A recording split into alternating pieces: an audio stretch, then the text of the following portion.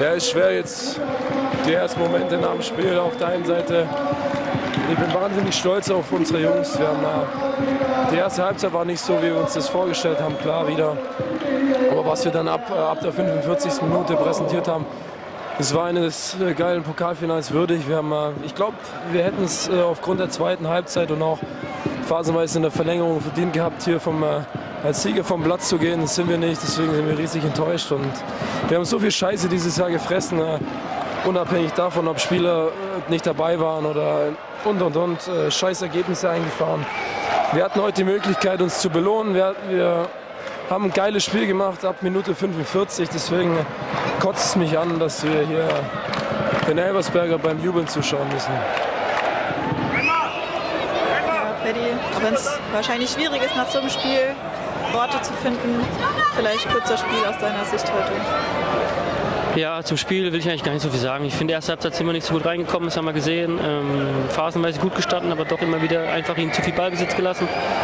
Und dann zweite Halbzeit, finde ich, haben wir es viel, viel besser gemacht und waren auch klar die bessere Mannschaft. Wir machen dann 1-1 und ja, es ist einfach gerade im Moment sehr, sehr schade einfach, weil ich glaube, wir hätten es als Truppe einfach extrem verdient gehabt. Wir haben so, viel, so eine schwere Saison gehabt mit, mit so viel Verletzungen jetzt auch wieder, ähm, ja, ich meine, Ivan spielt mit Knieschmerzen seit Wochen. Äh, Dulle kommt gestern wieder zur Mannschaft, haben letzte Woche noch mal Corona-Fälle gehabt. Blatt und ich spielen auch mit, mit Zerrungen immer gestern oder die Woche ein bisschen gezerrt.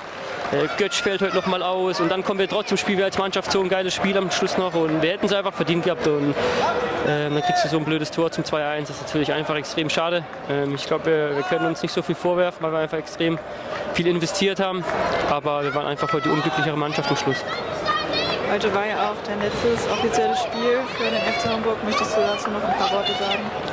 Ja, ich möchte mich einfach bedanken beim ganzen Verein, ähm, bei der ganzen Mannschaft, bei allem, bei den Fans, äh, bei der ganzen Vereinsführung, Trainerteam.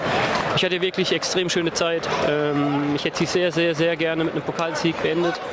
Ist ein bisschen schade, dass es nicht geklappt hat, aber trotzdem mit ein bisschen Abstand, glaube ich, wenn man ein bisschen alles Revue passieren lässt, ähm, werde ich auf die fünf Jahre immer sehr stolz und sehr glücklich zurückblicken. ich hat, hat immer Spaß gemacht und war stolz, Kapitän dieses Vereins gewesen zu sein.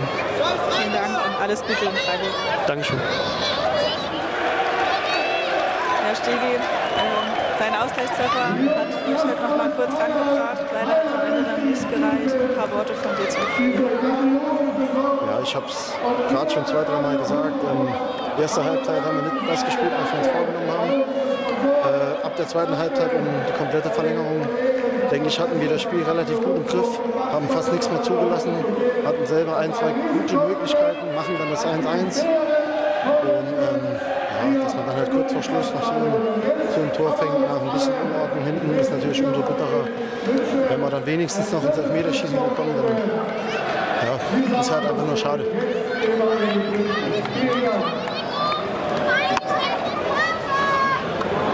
Ja, Timo, leider hat es am Ende heute nicht gereicht. Ein paar Worte von dir zum Spiel, bitte.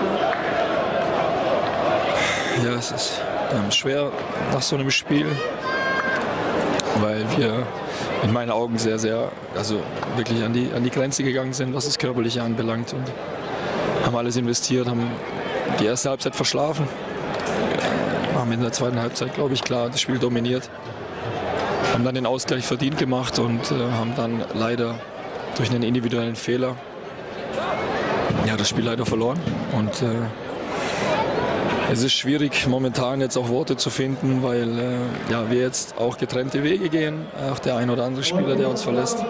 Ähm, ist menschlich und äh, die ein oder andere Träne haben wir vergossen. Und äh, deswegen ja, ist unheimlich bitter, weil wir hätten gerne mit den Fans, die uns mega unterstützt haben, hätten wir gern den Pokal mitgenommen nach Hamburg.